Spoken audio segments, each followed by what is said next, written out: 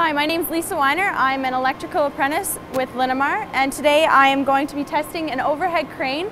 By uh, doing this, I have to attach this wireless uh, module to a box up on the overhead crane.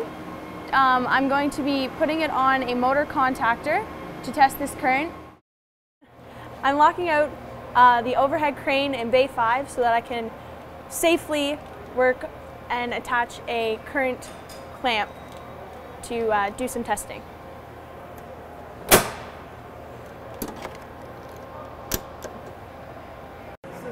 I'm now verifying that my lockout has worked.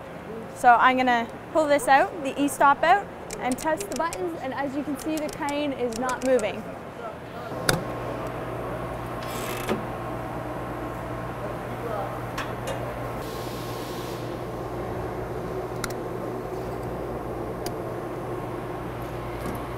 Now I'm going to shut the box and test the current going through the motor contactors from the ground from a safe distance.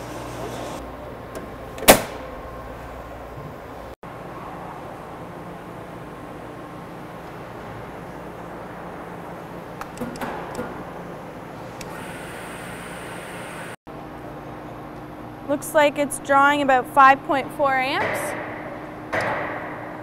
I'm going to continue to move the crane around and test my current. It's very nice to be able to do this at a safe distance on the ground and leaving my Connex module in the box. I'm going to come back and check it periodically to see if that see that my uh, current is consistent.